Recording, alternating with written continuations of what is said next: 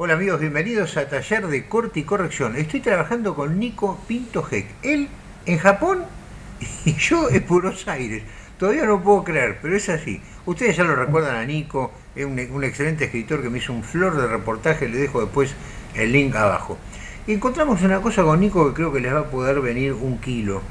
Y siempre, siempre reforzando aquello, con este pequeño programa, aquello de que el Está bien dicho de qué, aquello de qué, ¿eh? no me digan que, ay, dijo de qué Di Marco. A veces que hay que decir de qué, me di cuenta de qué, si no digo me di cuenta que, es un queísmo.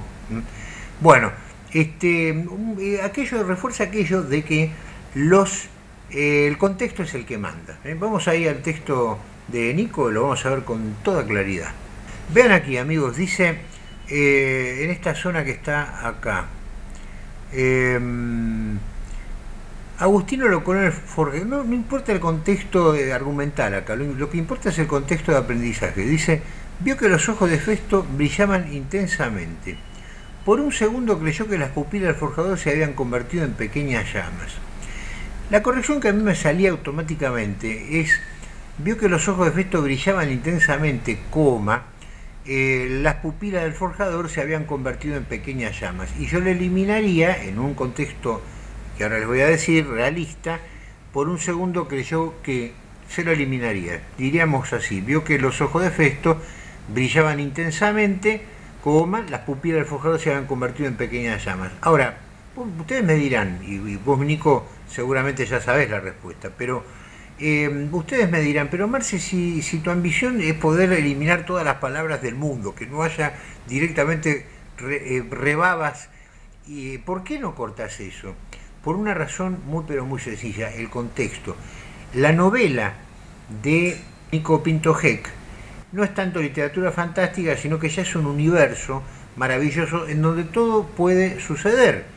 Si yo entonces agarro, Nico, y le elimino, eh, las pupilas del forjado se habían convertido en pequeñas llamas, el lector lo va a ver como una realidad, no como una metáfora.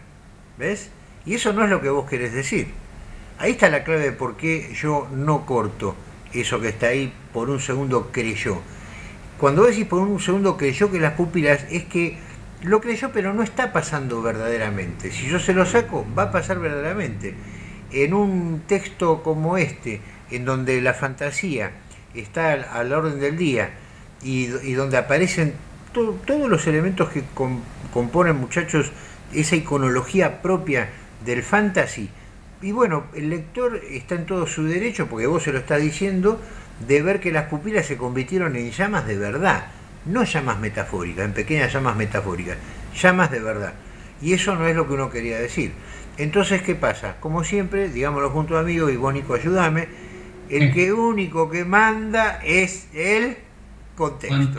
¿Ok? Eh, la regla de oro es esa. Hay tres reglas de oro. Todo lo que vos quieras cambiar te lo va a decir el contexto, todo lo que quieras eliminar, te lo va a decir el contexto, todo lo que, lo que quieras modificar, te lo va a decir el contexto. Y siempre por el bien del texto. En este caso, esta novela formidable que tengo el gusto de trabajar desde una punta a la otra en el mundo. Acá en Buenos Aires son más o menos las 9, 10 menos cuarto, creo. Este, ¿Y vos qué hora tenés allá en Japón? De la mañana. 12 eh, horas después porque es las acá 9 y 20 y pico de la noche. De la noche, ahí está, son las, son las 9 y 20 y pico de la noche. Bueno, esto es magia, muchachos. Aprovechen la tecnología para algo bueno. No vean pornografía y todas esas porquerías. Utilícenla para estas maravillas, para poder crecer en literatura y en espíritu. Hasta pronto. Den pulgar arriba y la hacemos con todo. Hasta pronto. Chao. Y sigo laburando con Nico.